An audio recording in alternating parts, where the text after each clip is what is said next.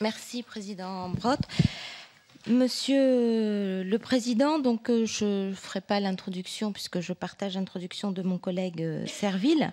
Donc je suis moi aussi sur cette question euh, de la vie chère en Outre-mer et un des sujets de la vie chère, c'est bien sûr le coût des produits pétroliers et des carburants.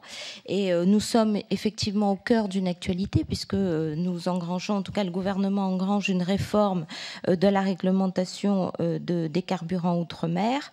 Vous le savez euh, comme nous qu'il y a euh, des décrets euh, qui ont été publiés. Aujourd'hui, en tout cas, des arrêtés de méthode qui vont accompagner ces décrets.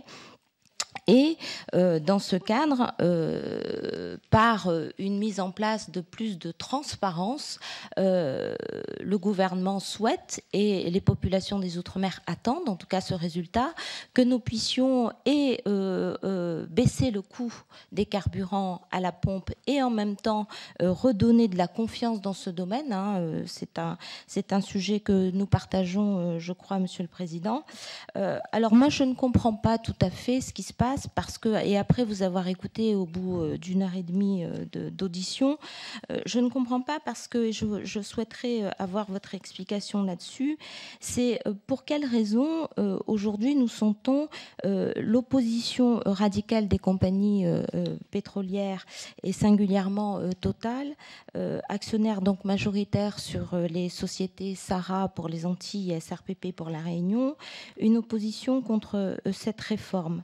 Euh, en quoi les obligations de transparence, puisque nous sommes bien dans, cette logique de transparence, en quoi les obligations de transparence que vous impose cette euh, réforme euh, vous, dérangent-elles? D'autant que j'ai cru comprendre que vous êtes favorable à la transparence.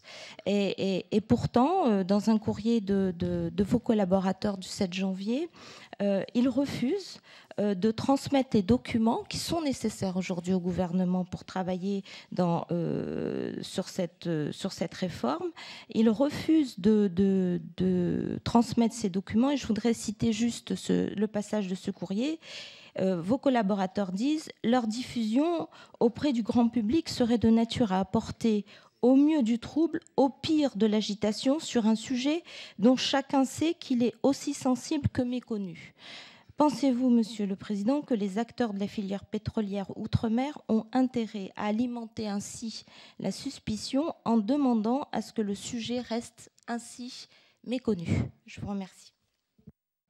Sur la transparence, bien sûr, pour répondre aux deux en même temps, bien sûr qu'on est pour la transparence, mais jusqu'où va-t-elle À partir du moment où il y a des références qui sont des références de marché, et que vous connaissez. Mais si à ce moment-là, on les prend, on les remet en cause, et on dit non, on veut remonter dans l'intégralité de votre chaîne d'approvisionnement, voir quels sont tous vos coûts, vos coûts de trading, etc., bien sûr qu'on ne peut pas. Et c'est là qu'on vous dit très gentiment, euh, on ne peut pas parce qu'aucune société ne le fait. C'est-à-dire, nous, nous nous référons à des prix de marché et on vous vend en prix de marché. Après ça, vous voulez savoir si on gagne de l'argent par rapport à ça. Mais on ne peut pas ouvrir euh, tous nos systèmes. Ça va effectivement créer beaucoup plus de problèmes que ça n'en règle. C'est pour ça qu'on a dit utilisons des règles simples qui sont les références que tous les pays du monde utilisent. Mais vouloir aller regarder le prix de revient d'un système comme Total qui fait de l'approvisionnement mondial et sur lequel les Antilles qu'une toute petite partie, non, je ne vais pas vous donner, nous n'allons pas vous donner toutes les informations concernant notre système de logistique mondiale. D'abord, vous n'allez pas pouvoir le traiter. C'est absolument monstrueux. Ça va faire aucune transparence et ça va ouvrir un débat sur ah, le trading, etc. C'est tout. Moi, je peux vous répondre très gentiment, tranquillement. Nous, on est transparent sur voilà les bateaux, voilà la qualité, voilà la référence auquel on se rapporte, et vous l'aimez ou vous l'aimez pas, mais ce sont des références internationales. Et puis à partir de ça, on est transparent. Mais la transparence, ça consiste pas à expliquer tout ce qui se passe à l'intérieur d'une entreprise. Je suis pas d'accord.